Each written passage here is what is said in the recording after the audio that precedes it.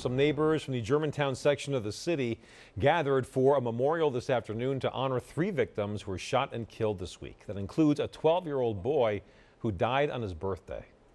One, two, three,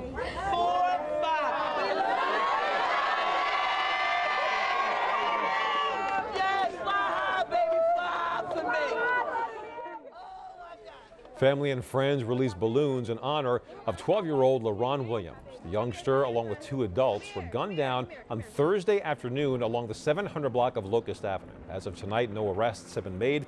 Investigators believe the shooter was inside a vehicle when he opened fire.